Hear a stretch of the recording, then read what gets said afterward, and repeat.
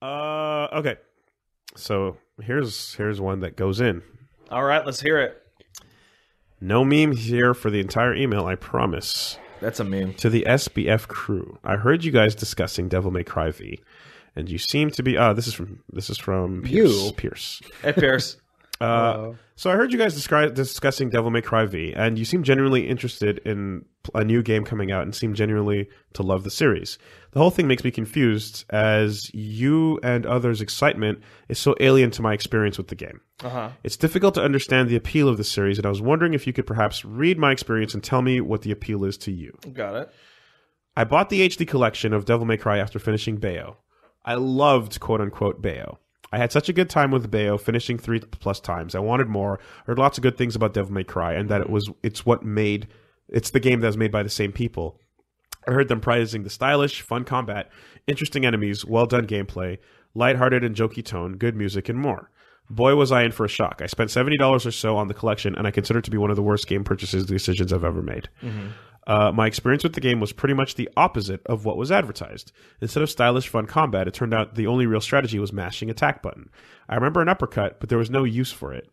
To be fair, I also found the shotgun and a dresser to replace the useless pistols, but it turned the game into repeatedly shoot them. The game didn't seem lighthearted or jokey at all. Instead, it all seemed rather dour, with complete moments of failing to be cool in there. Instead of interesting enemies, I got dumb, boring puppets for the most of the time I played. the person's clearly just talking about Uh, DMC one. Yes. Yeah. Instead of well done gameplay, I got awful camera work and jumping way worse than it should have been. The real worst thing, however, was the music, the awful pipe organ massacre on eternal loop, the kind of physical punishment for playing the game at all. I got a literal headache from listening as I wandered around the castle. Compare that to Bayo, and it's which has such a fun intro sequence, and immediately in the graveyard you have access to a full move set. I'm immediate. Uh, uh, I got to do a whole bunch of moves with each variation. I got to do cool, useful things, which time and bullet climax, and the music is good, and the game, game quote unquote keeps being fun continuously. Onwards to HD Collection, driven by the talk of how good the series is, seventy dollars, and I paid for the three games. Eventually, I reached the spider that was on fire. I fought it for a bit and decided that it wasn't making the game better, and then that it would never get better. So I pretty much. Uh, uh, yeah, I eventually passed the game on to someone else through eBay, Monkey Paw style. So, what exactly do you guys like about Devil May Cry, both the first game in particular and the series as a whole? All right. Well, what got this game three sequels and a remake? I, I'm gonna say right off the bat before you guys probably go more depth than me. It's like it's not great compared to Bayo because Bayo's much ol- like newer, has more systems, and It's a is- very- and is more fun. this is a very Like, if you- understandable If you situation. go from Bayo, but this, this person has So- to understand that we grew up I can Devil follow. Cry. I can Wow. follow I- the timeline that leads to this. So I, I understand. I, want to point out that this is a very similar complaint that you see a lot of the time when you go from the spin-off, whatever, the spiritual successor game that's far into the future, and then you go back to pretty much where it started, and it's like you're you're there is a specific personality trait of your tolerance for shit being old. And Devil May Cry 1 is positively fucking ancient at this point. It came out in 2001 one, yeah. it is old as shit. Bayonetta is now old as shit, but that genre hasn't really advanced all that far past then, Bayonetta. yeah. A lot of the design decisions made during Bayonetta were specifically to combat the issues that you describe. Jumping in DMC 1 in particular is really bad. It's the, now- the way that you dodge, well, holding the tr- it, it- the way that you dodge in that game was even called out in the leak for V Yeah, as, as something that's awkward Yeah. and needed to change. Yeah, it, it, no, needed it- to be more DMC what? one. Smooth? DMC one is now old enough to drink. um, Yeah. it's it. I think that in particular, In Canada. when you think of yeah, well, yeah. Twenty, yeah, it's not 21. Oh, God, it's fucking twenty one shit. What the? F- anyway, uh, the um, Well, it's only 16, so you'd have to go to. DMC one uh, in particular, the also you, al- like besides remembering that, that that it's like the time and such and the context. Yeah, This was a game that when you first played it, you're coming off of it being like it's a Capcom game and it's like oh, it's like Resident Evil. So your expectations were Resident Evil. There, and it used but to be a little bit Evil. faster, right? Yeah. Because that's originally what it was. So with that in mind, and kind of like setting your expectations there, what you got was something way faster and more exciting than Resident Evil, and the, the tone is definitely dour compared to Bayo now. or DMC3 later. But DMC one compared to RE is lively and fun and because you've Yeah, got you've got a, a, a jumping around character going flock off featherface or you can stick around and find out the hard way Hmm. was a something that you wouldn't get from uh, chris redfield or, or jill valentine Not intentionally. you also have to compare it to the state of the 3D action game at the time. God of War was quality, but that came later. yeah, it came out like four right? years like later. compare that to like Lament of Innocence, which was the Devil May Cry knockoff Yeah. that Konami Yeah, made, yeah, which is a Castlevania game, and every 3D action game in the PS1 era. Like it was a quantum leap forward in like control, in move list, in uh, style. So, for example, uh, you found an uppercut, but you didn't find a reason to use it. That's because the primary reason to use it in Devil May Cry 1 is to pop up an enemy so it can't hurt you, shoot it so that it looks cool.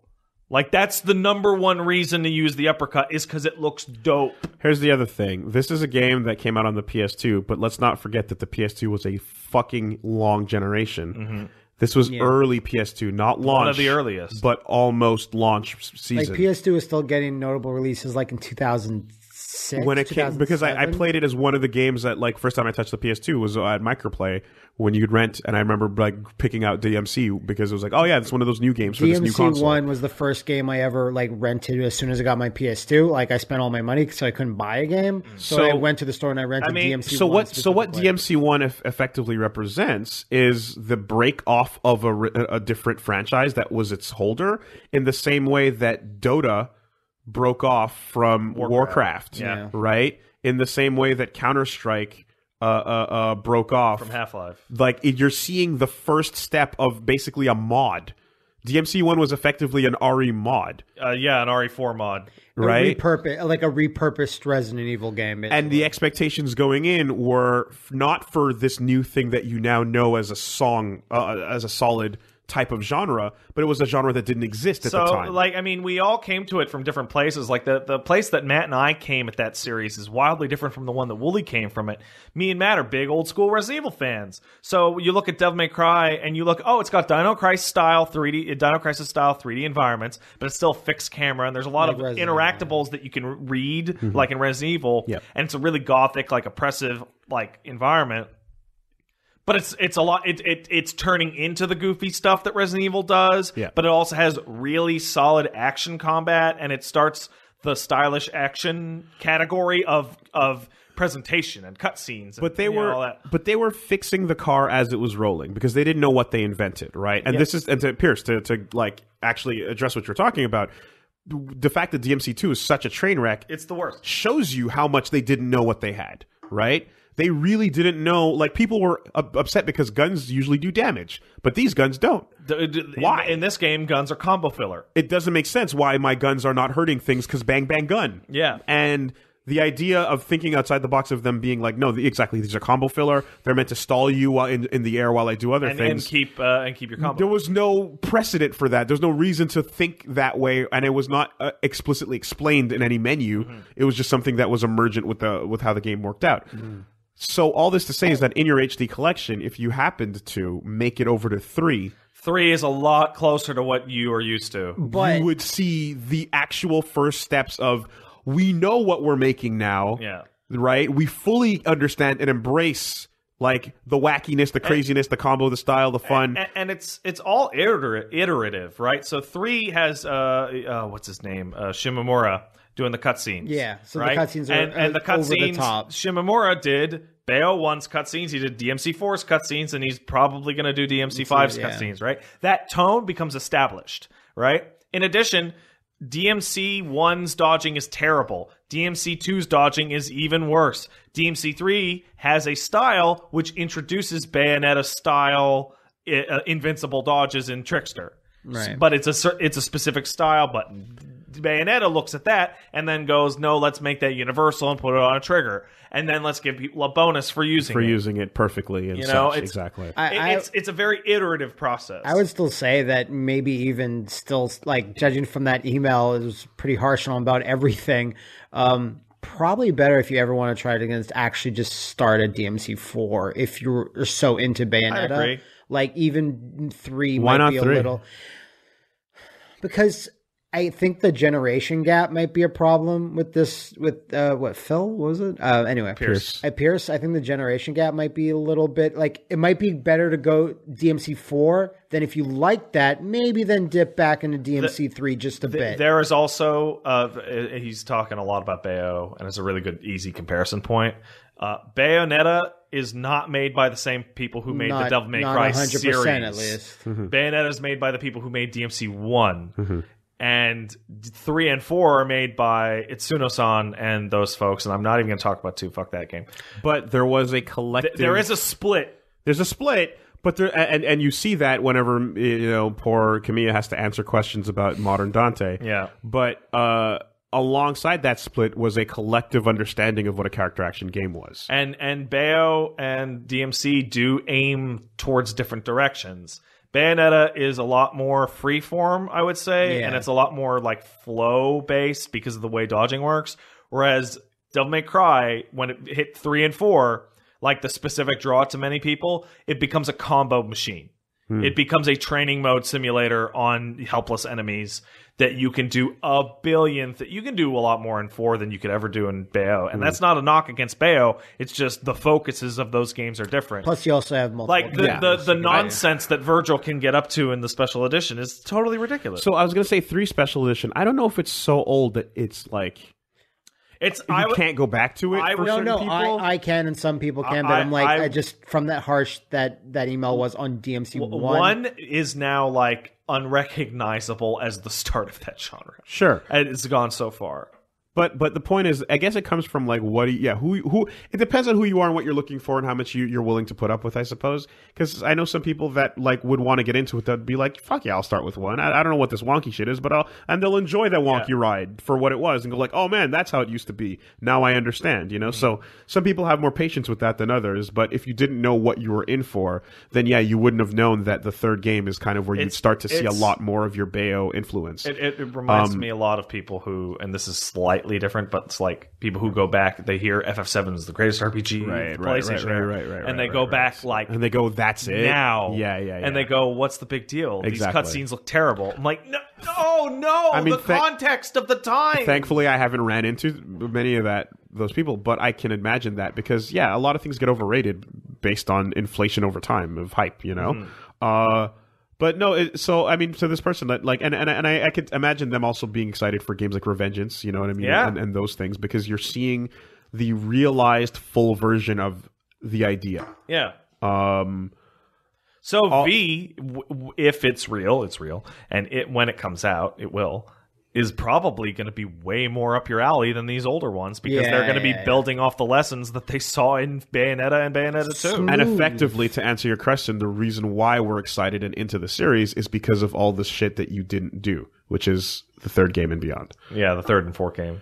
Like I, I personally and, and would have also because it's been so long. I since we had personally a would last love proper.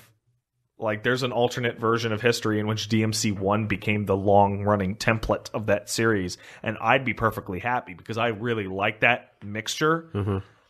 But I'm much, but I'm happier with this one where it, it became a so a single player fighting game. If if Kamiya gets his wish, he's going to go back to DMC one Dante Yeah. because that's what he's got in his head. But I mean, at the end of the day, like uh, we're looking at DMC five probably being all the things you love about Bayo and all the things you love about Revengeance and all the things you love about DMC four and so on getting incorporated The into this new version because now we know more about this genre than ever. Right to the point Even where even Dragon's Dogma had lessons to teach, and, And- that's and- not and that's barely touching it. and the pretenders to the throne are now pretty decent games, yeah, right? the knockoffs and reboots are, coming are along all quite well. decent. So- at, at worst, You know, like everything stands to reason that this is going to be phenomenal. But it had it all that all that quality was in the games that you didn't. Uh, play. and also there's stuff in Devil May Cry One that never came back that I miss. Like Perfect shots to kill enemies in a single hit. fucking thank you when you get the scissor fucks and they're coming at you and you wait and line up the shotgun and get a headshot, You know, and they you- die in one. You know you can do it with the pistol, right? Totally It's it, it, it, it does. It's not a damage thing. It's it's it a- is it's a- one of the coolest state. things in the entire franchise, and it never came back. Yeah, and it's only for that one enemy. Holy fuck, I loved it so much. Yeah. It's, it's harder to do with the pistol because Yeah. the aiming, ha- but it's it's it's you, you you get the clash and it has to be to the right side and you walk two feet to the left and you put the gun on their forehead and you pop and you just When the shots lined up, they fucking and they're such an uh, an annoying enemy to fight. So a really pain free way of dealing with them with style was so welcome. That was great. Really good example. Yeah, absolutely. Um, Oh, also I have one last thing. He mentions fighting Phantom, the lava uh, spider. Lava Yeah. spider. One of the things about Phantom that I remember blew people's fucking minds was that you can hit his projectile reflect back it back him. into his open mouth. Yeah, absolutely. and that's not a big deal anymore. No. obviously, but if you were frame perfect, or let's say like three or four frame perfect, right? You could do it, and it felt awesome. Yeah. Like the camera in that Hidden- fight's not the best, and you know he's not, you know, but like that Hidden bits. cool stuff there. little hidden bits. Uh, like later, DMC four made it so that's like, no, I'm gonna grab this fucking spear out of the air and throw it back. Even cooler with Nero. running I'm biking down the fucking tower and, and yeah. um so yeah, that that's pretty much it, man. Uh I think that was answered. I'd say so. The context of the period is vital. But it's but again, it's very understandable that someone with zero information walks in and goes, "What is this?" But also, I'm I'm not going to stand here and go like, oh, we're perfect and we can do that. Like, I can't go back to things past a certain date. I can't go back to things before I started playing games. Well, that's what- I can't go back to the Atari and appreciate any of that shit. well, Pat, you were able to watch 0079 and not have a problem with it. That's right. But not everyone can do that. Many which is why I have a hard to. time saying, "Oh yeah, start at 79 because I'm like, I understand that some people don't and I don't know what, you know, I have to there know are people that are going to. This animation sucks. This is. I have to know if you're the type of person that can ha- that is willing to sit through date dated shit Mm-hmm. to and appreciate and you're able to go like I I can put my mind in a place where I know what this was at the time, therefore this is Well, like good for its place. Think at the about time. it this way: like there are people out there that, uh, like younger folks or people that didn't get into animated movies until later, who are used to the modern state of animation. And if you were to go show them like a Miyazaki film or like an older Disney film, they go, "Why does this animation look so old? Why does it look so bad?" No, no, here's the worst You one. know? I know I have uh, the, uh, I think they're like, I don't know, 16, 17, whatever. The, the son of a friend of a friend or whatever was talking about, I think, Force Awakens. They're like, man, I hate those fake looking costumes that the aliens wear. They don't like, like, pre- people that don't like going back to practical effects, Ah. don't like puppets, don't like miniatures. That's where I'm like, Punch them. uh, don't get me wrong, CG is CG and it needs to be here. But Yeah. if someone makes that choice to go, I want a monster that looks real and we don't we, can we do we have a cool thing like those little frost foxes that are in The Last Jedi?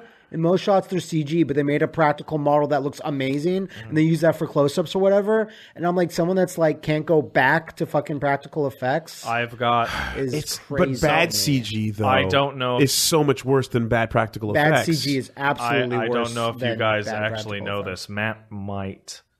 But you know the Thing uh, sequel, the one that takes place on the Norwegian base Yeah, that yeah, came yeah. out a I few seen it. years I seen ago. it. I seen it. That was all CG effects, much to the disappointment of fans of the original, Sure. right? Are you aware that the entire movie was shot and filmed using practical effects?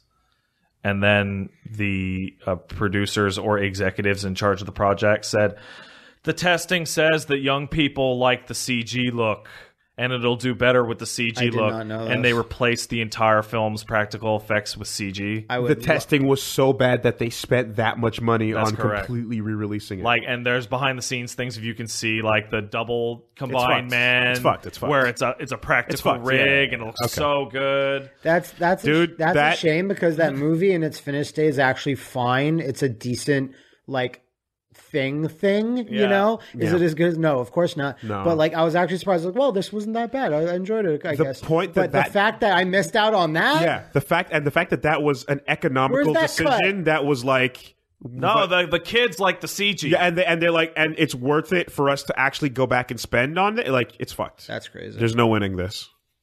You know, go go Um, look that stuff up the practical effects they made I can't. awesome. And there's interviews with guys who like Wow. made the rig, and they're like all about to cry because they're like, yeah, it all got taken out. That's be that's super depressing, and the fact that like the people involved in making it, like even the production level, are like, you know, you're telling me that the producers were t- were saying, yeah, we know it sucks, Bust, but busted six months of my life to make this fucking rig, and the test shoots were great. And they, okay, That's why I'm glad in Predator movies they always have some asshole running around in his cool suit. yeah, because it's a human shaped. human- But you know what, Matt? If someone told me they were gonna put in a practical effects Kothoga into the relic, I would say, "Fuck you! No, get out I of my want house! That dank bad CG.